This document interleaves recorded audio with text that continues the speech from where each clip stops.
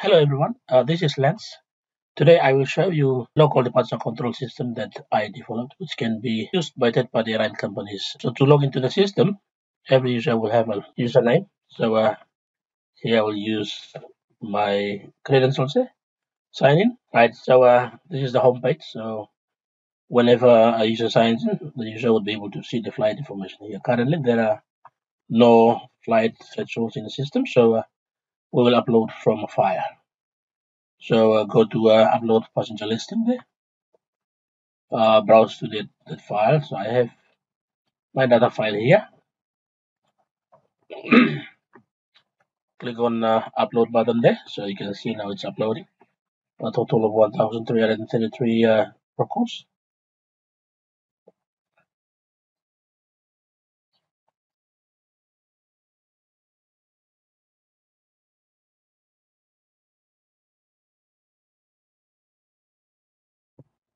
Now um, that's all the records have been uh, uploaded. So now we can proceed to the check-in um, area here. So that's a check-in option there. So here you can see all the flight schedules for today. So you can see um, different uh, flight information there. So I'll probably focus on HL 154 uh, from home to uh, Guinea. So um, um, firstly, I will have to activate the flight for check-in. So I'll change the pending status to activated. Um, that should now allow for uh, passenger listing to be loaded. So uh, now you can see check-in button here is enabled. So I click on it and then it will give me this page here which contains all the passengers, the information there for this uh, particular flight, HL154. Now, before um, proceeding with the uh, uh, the uh, for each of the passengers, we have to set the uh, um, time setting here, that the estimated uh, departure time and arrival time there, and as well as boarding time and the gate.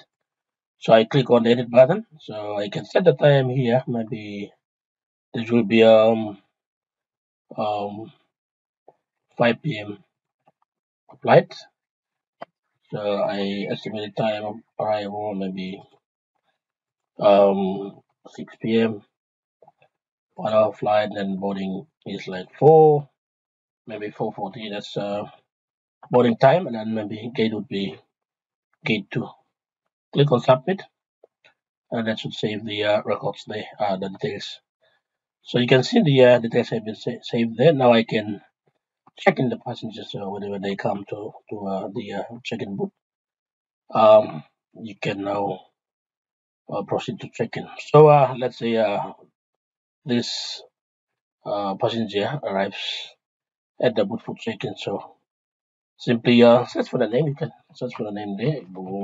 It's there. So I click on edit, and then now this way seat would be allocated to the passenger, and also do the uh, baggage check-in.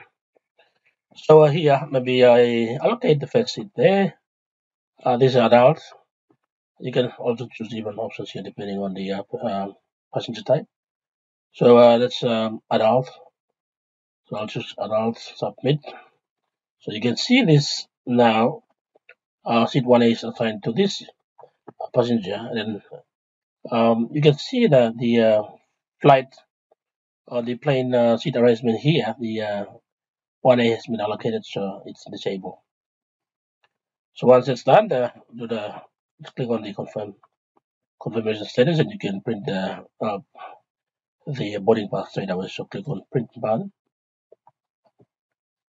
and then that's it. So uh, there's the uh, um, boarding pass. So uh, we can now click on the print option there, and then we can print to a specific uh, printer, that's to the uh, computer right? So uh, now after the ticket is printed, you can also print the uh, baggage tags for for the uh, the uh, baggage for the passenger if the passenger has any baggage to um, check there.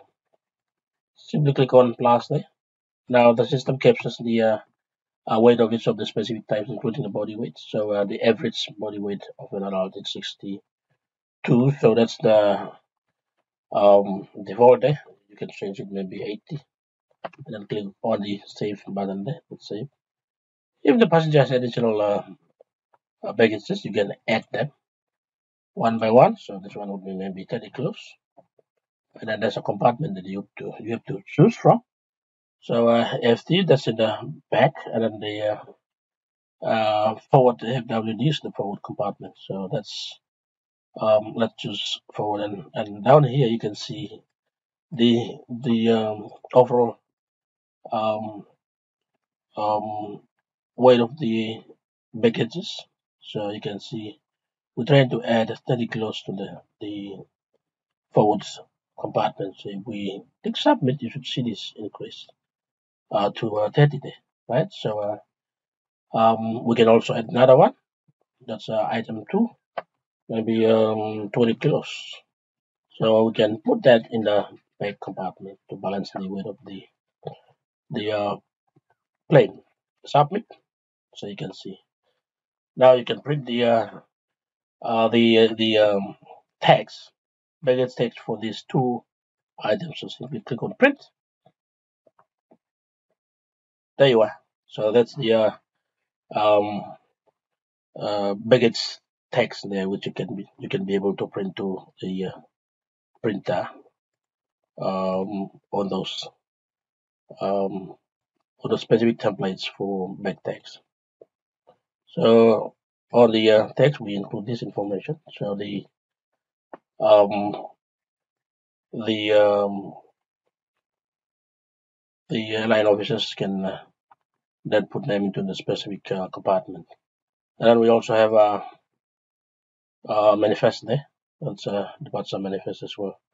So whenever we they board the plane, we they would be able to confirm the uh, the boarding status of the passengers uh, from this page here, and then they should be able to see the manifest which they can print. Thank you very much.